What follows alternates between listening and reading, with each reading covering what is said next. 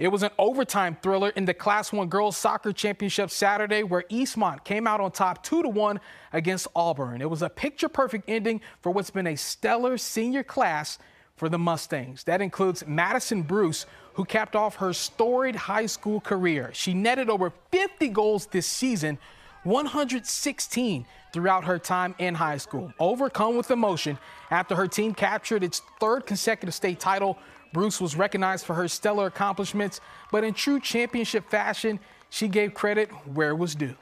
It means everything to go out with a team like this. We've put, there's so much that goes on behind the scenes with this awesome community, as you all saw, and um, how much work we put in. We're in the weight room every day. Our coach makes sure that we're fit for this moment, going half the season with 11 players.